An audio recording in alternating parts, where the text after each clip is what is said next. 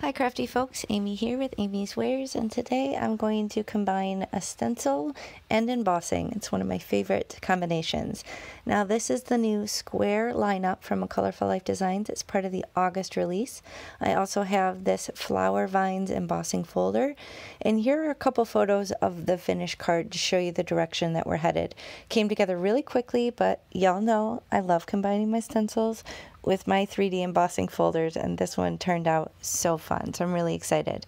Now I'm just going to pull a couple of really earthy sort of tones from this um, set of Catherine Pooler mini ink pads and I'm going to line up the stencil on this card panel here.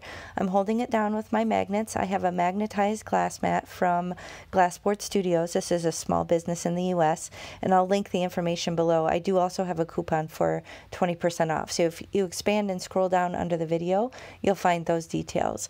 But here I'm just kind of mixing a couple colors color ranges here that probably wouldn't actually get along with one another.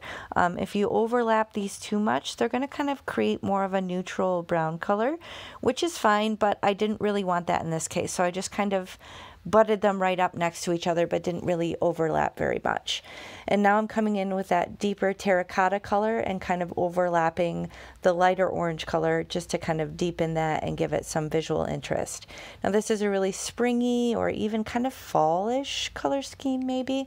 Um, I didn't realize until after I created the card that it kind of looked like lattice, um, especially when you have the vines and the flowers from the 3D embossing. So I, that may have been a subconscious choice pairing those together. I'm not sure, but that's certainly what it ended up looking like.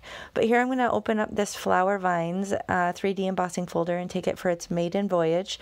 Um, you guys probably know the 3D embossing folders from Altenew are my favorite. I'm just going to spritz carefully the back of this card panel. That's an optional step, and I'm being mindful not to get any liquid excuse me, liquid on the front of the panel because that is a water reactive ink and I don't want to kind of messy that up.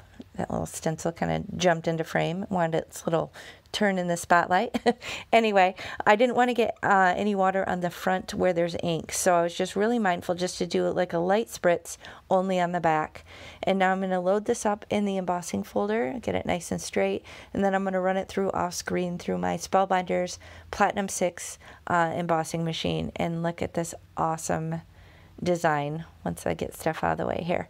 It's so cool. I think it turned out so awesome. You can really see it even on just plain white. So that's what I love about these embossing folders. They're just such a dramatic effect. Um, you can see how much that would show and even the, the debossing side is really cool too. So you get a lot of versatility with these. Now I do decide to kind of go over um, and add just a little very slight ink blending on top of the blooms. It really doesn't do much but you can definitely see this in person. It may be a little hard to see on screen but in person you can definitely see the drama. Now I decided decided I didn't want a white border, so I'm just using my ink pads and just swiping the color all the way around the edge of this card base. And this is 120 pound accent opaque cardstock. Um, I do decide I want to zhuzh up the corners a little bit and ink blend some of that darker color as well, just to kind of give it some interest. Now I'm cleaning up as I go because I am working directly on the card base and I don't want any extra ink to get on the back um, or make a mess of this card base at all. So that's why I'm being a little extra careful. So now I'll attach that panel to the card base and then I just need to pick a sentiment to finish the card. So I have this always die cut. Um, I can't think right off the top of my head where that's from. Um, I will link it in the video description box below if I can find it. But this is my storage solution to fill up um, all these little baseball card pocket protectors with all of these die cuts. So this is a way I'm really able to save time and batch a bunch of cards and have different components ready to go. So that here for you strip is for sure all Altenew as well.